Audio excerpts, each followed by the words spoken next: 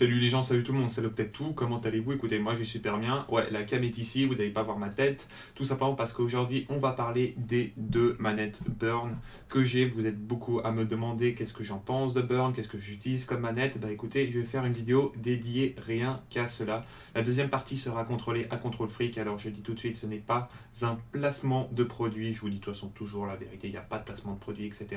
Également, il n'y a pas de placement de produit pour Burn. Je dirais les avantages et les inconvénients qu'il y a entre une burn et une scuff. Enfin, ce que beaucoup de gens m'ont dit, étant donné qu'ils utilisent Scuff et qu'ils ont utilisé Burn avant et qu'ils ont expliqué quels, quels, étaient les soucis. Et on va tout de suite attaquer cela. Alors, avant d'attaquer ma nouvelle manette, on va attaquer celle que j'ai beaucoup utilisée sur Call of Duty Black Ops 3, qui est en l'occurrence celle-ci. Je ne sais pas si on voit assez bien. Normalement, vous êtes bien censé la voir, parce qu'avant j'avais fait la vidéo, mais on voyait pas très bien, étant donné que j'avais mal orienté la caméra. Enfin bref, vous pouvez voir justement qu'elle est, beaucoup, elle est un peu plus lourde étant donné qu'il y a les vibrations dessus. Niveau euh, joystick, euh, non, niveau gâchette, c'est à peu près la même chose. Voilà, c'est comme une manette normale. Niveau joystick, vous voyez que c'est deux fois PlayStation 4. Je sais pas si on peut bien voir que sur un des côtés, en l'occurrence celui-ci, je sais pas si vous pouvez bien voir. Attends, on va essayer de l'orienter. Ouais, vous voyez bien qu'elle est un peu défoncée. Et j'ai expliqué tout ça, euh, tout simplement qu'il y a des problèmes selon moi niveau joystick chez PlayStation 4. Hein. Là, vous pouvez voir justement que euh, ça se défonce assez vite et que justement on va en parler après par rapport à Control Freak. C'est une manette assez stylée. Contrairement à Scuff, j'adore les palettes de chez Burn.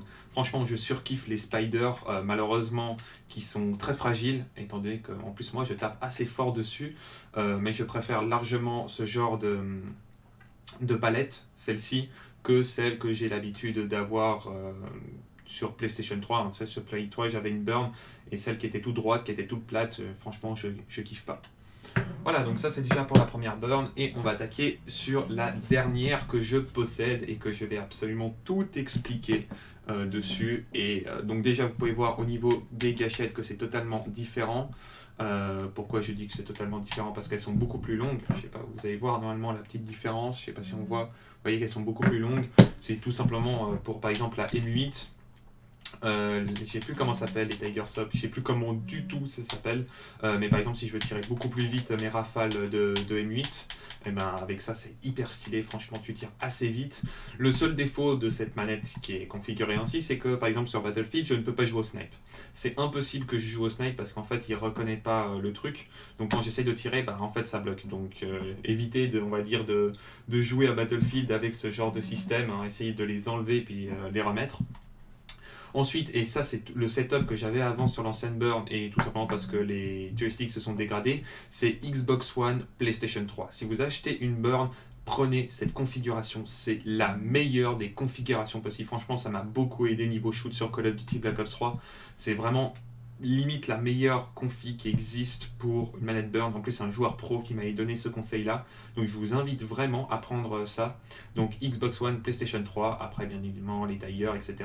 Euh, cette manette est sans vibration, contrairement à l'autre, et je trouve que c'est plus intéressant, etc.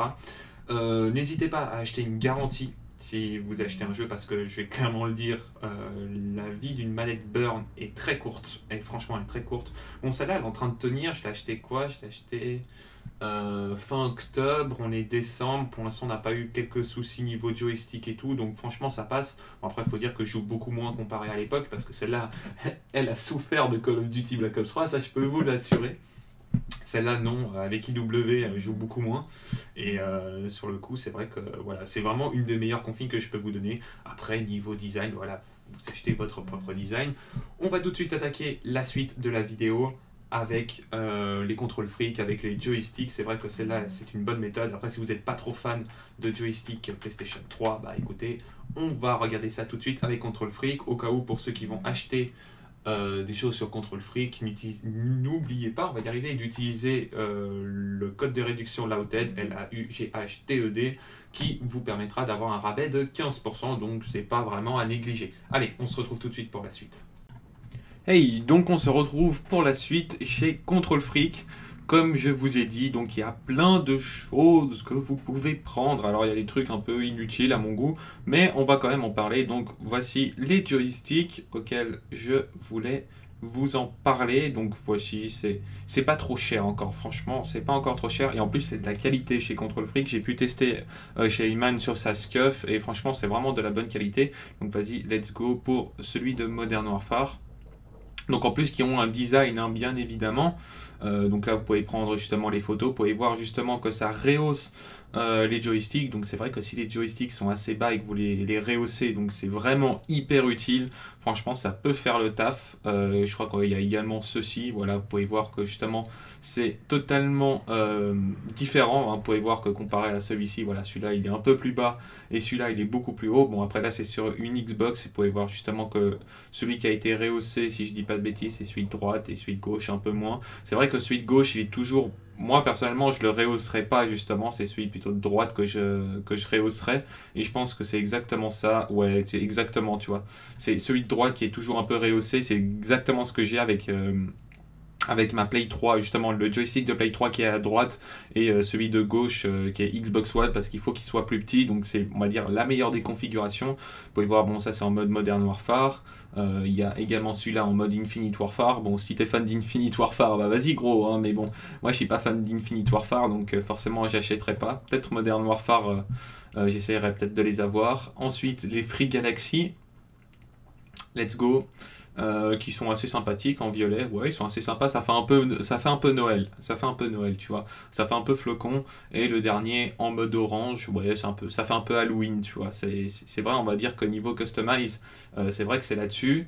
Euh, et puis voilà. Après, on va pouvoir voir qu'est-ce qu'il y a d'autre. On va dire que là, pour l'instant, c'est vraiment le setup vraiment parfait d'une manette. C'est vraiment le genre de choses qui va même si vous n'avez pas vraiment l'habitude de jouer avec une burn, vous allez mettre une semaine à vous adapter, franchement, ce que je vous recommande, c'est qu'à force de vous adapter, vous allez avoir un shoot de dieu, les potes. Vous allez avoir tellement l'habitude dans les airs d'avoir un shoot de malade. Franchement, vous allez voir que même une petite manette comme ça, elle va aider à vous rehausser votre niveau. Elle va vraiment aider au niveau des gunfights, etc. Après, c'est pas du jour au lendemain, par exemple, je sais pas, t'as jamais joué à Call of Duty et t'achètes une burn, et tu vas dire ah ouais je vais devenir trop bon etc non il va falloir vous habituer etc et franchement il y a bah, par exemple les joueurs pro hein, jouent avec des burns etc et franchement c'est c'est vraiment la grande différence donc ça, je pense que c'est des éditions collector, voilà, le Perfect Arsenal, etc. Voilà, là, tu peux vraiment tout avoir. Si tu veux, si tu veux les trois là, les trois là, etc.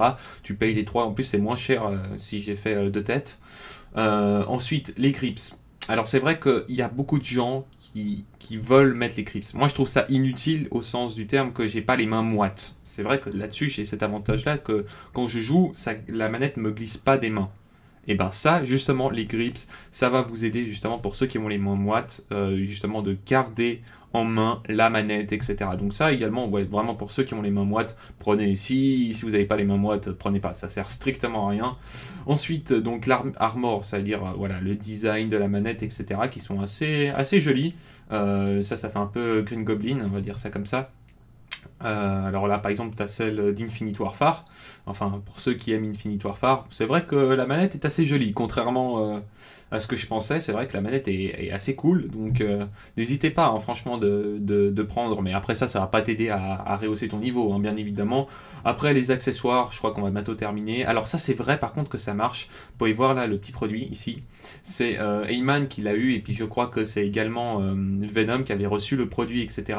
Ça t'aide, au lieu de chaque fois prendre les grips, euh, si une fois ou deux ça vous arrive d'avoir les mains moites, bah, vous mettez ça et euh, ça vous aider à garder la manette en main. Euh, c'est vraiment si vous avez très très rarement vous avez l'habitude, vous avez les mains moites, donc n'hésitez pas à prendre le produit qui est ici. Et pour terminer, on va prendre, euh, voilà, qui est, le dernier truc.